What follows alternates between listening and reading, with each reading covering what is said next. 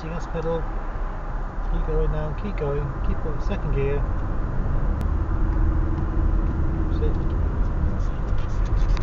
Now it's perfectly safe for us to go around because we've got the green filter light.